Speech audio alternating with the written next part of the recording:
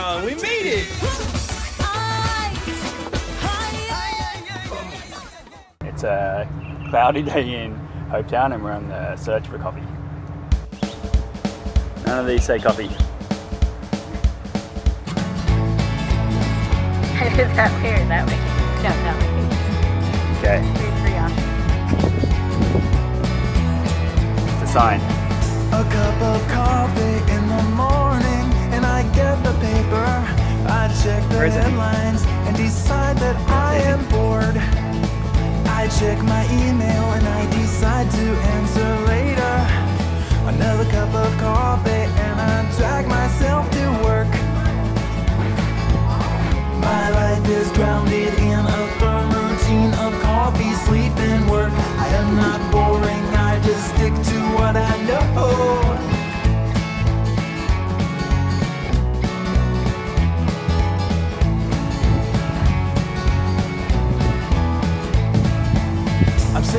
at work and I realized I forgot to wake up.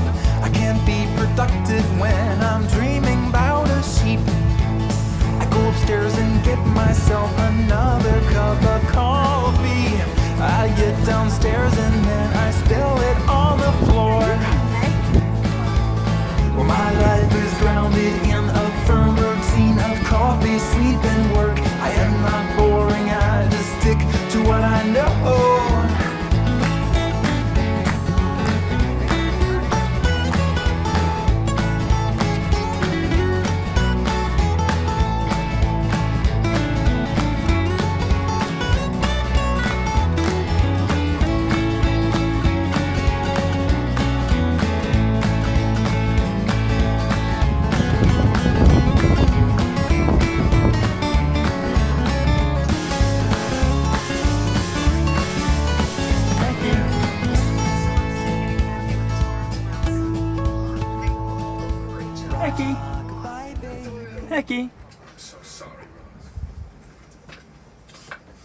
We're in about 18 inches of water and we still have an hour till low tide.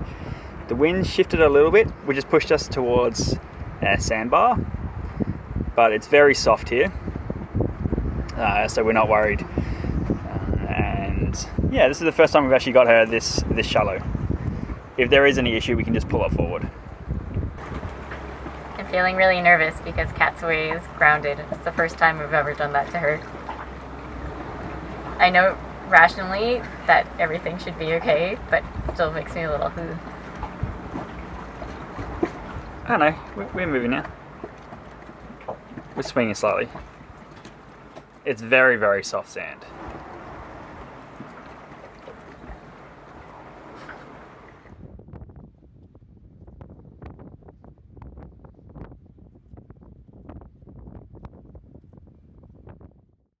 The next day, our friend Joe from Barefoot Adventures came to inspect the drive leg and see if he could help.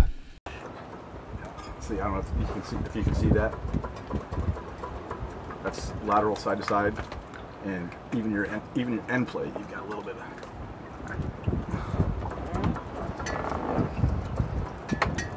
Sweet. Done deal, man. Done. It's done. Okay. Unfortunately, our original diagnosis was correct and the seals and the bearings needed replacing.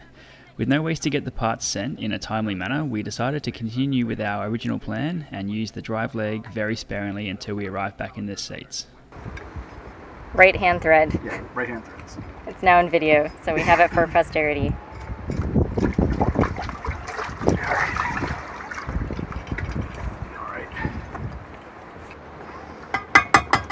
We're getting an education on our drive leg. Yeah, and I don't know how this worked out, but I'm the one trying.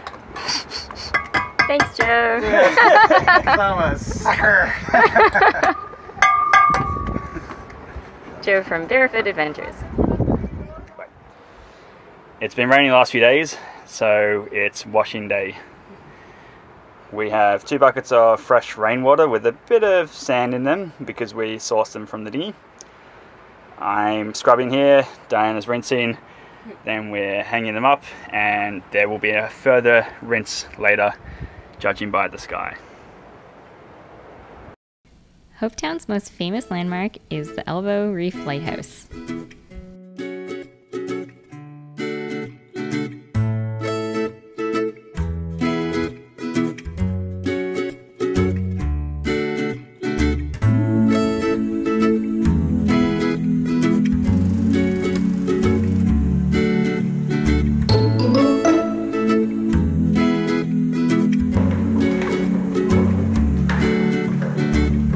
Lighthouse sits atop 101 steps and stands 89 feet tall.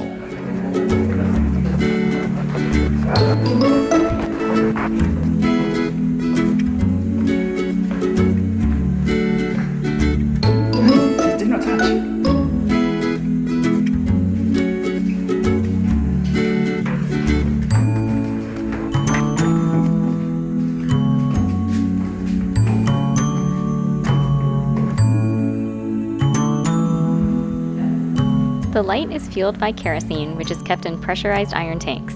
The lighthouse burns one gallon of kerosene every night.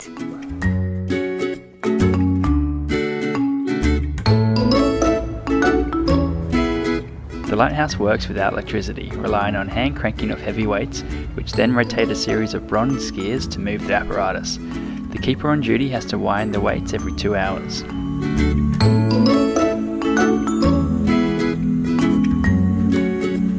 The Fresnel or Fresnel lens focuses the light towards the horizon.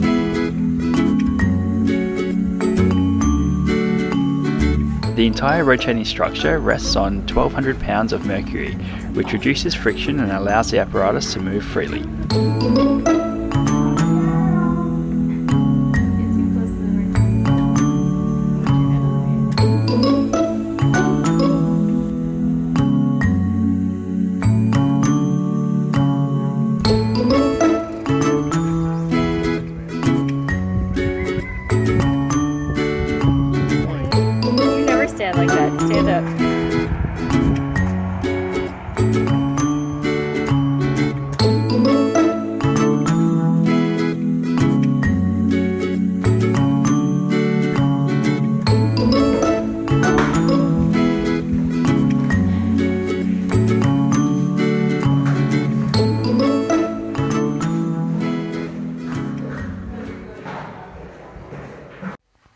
Next, we visited the Wyannie Malone Historical Museum.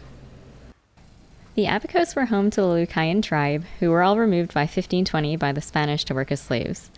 The next settlers to Hopetown were the Loyalists, who arrived in 1783. These settlers made a modest living through wrecking, fishing, sponging, and shipbuilding. Wrecking was a lucrative business in Hopetown.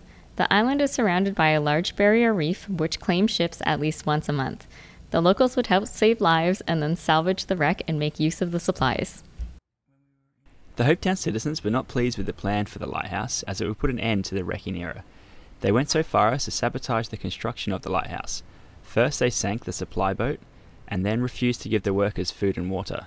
However, the government persevered and the lighthouse was erected in 1863.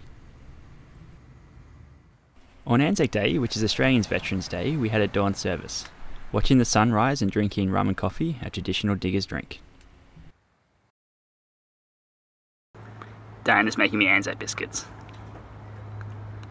I'm excited, just have to wait. Two rows. Aw, yeah. Here they are. Our Anzac cookies. Finally managed to film it before they all got eaten up. And they're perfect. They're crispy on the outside, chewy on the inside. Greg already ate half a pan. We're currently in the Chesapeake. Check out our live map, link in the description. Thanks for watching!